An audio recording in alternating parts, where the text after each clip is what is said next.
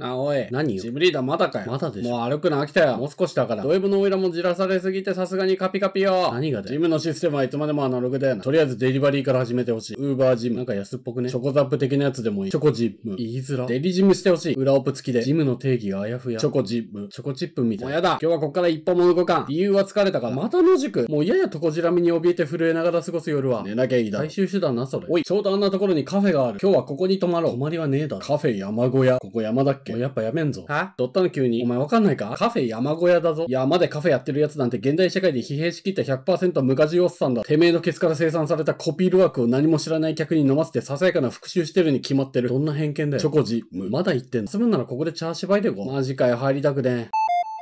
お帰りなさいませ、ご主人様。あ、うむ。今回はいい裏切りだね。うん。これは女の勘だが、どっちもただならぬ雰囲気を感じるんだ。2名と1匹でよろしいでしょうか、ご主人様。おい、なんだ、この店は客を引きで数えるのか。客商売舐めてんじゃねえのか。え、ちょ待って。俺こういう店初めてで、指名とかすんの？ソフトリ出る金ないよ、ご主人様。本番あり？お前この店なんだと思ってんだ。金ない奴が来んじゃねえよ、クソご主人様。ああ、今なんつった？申し訳ございません、ご主人様。これはまだ新人のものでして。財布開いたらまたも開くんだな、クソメイドは。この回路はまたから引き裂いて素焼きにして差し上げましょう。どうどうだ、メイドに送ってやるや。いや、また喧嘩は良くないよ、ダネフシさん。え？珍しいサトシがそんなこと言うなんて。俺はこの店をリスペクトする。なぜか知りたいか？いいえ。メイド服を見ろ。全然露出がないだろ。まあそう秋葉のメイドカフェや漫画のメイドキャラの印象操作により、メイドイコール可愛いが世間の認識として定着してしまっている。しかしメイドとは家庭内労働を行う使用人のことであそこに、え？な要素はいらんのか。露出の激しいメイド服など邪道。目に映るものに興奮するのは簡単だが、そいつは猿だ。え？な妄想は見えなければ見えないほどはかどる。こっちで勝手に妄想するもの。いいな。妄想してしまうもの。いいな。妄想させてください、うん、いるよな、こういうメイドとか特定の世界観のあるジャンルを美化したがるやつ。なんだかんだ言って、娼婦みたいな父出し薄着メイドキャラで抜いたことあるくせに。おい、今レブリンの悪口言ったか。あのな、コスプレとペイペイは別ジャンルなんだよ。日本語で喋れや、ボケ。いや、喋んなか。どっち？メイドキャラで抜くときとペイペイで抜くときは別なの。同じ肉でも餃子とステーキは全く違うだ。そういうこと。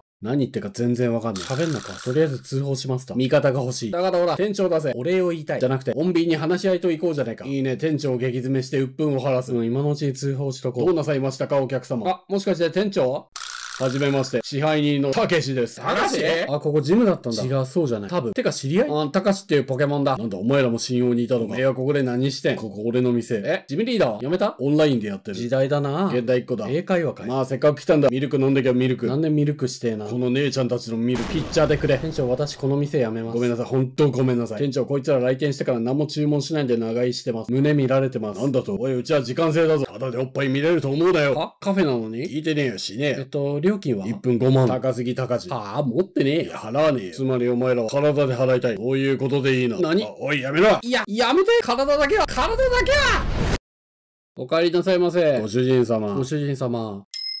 よく似合ってんじゃねえか。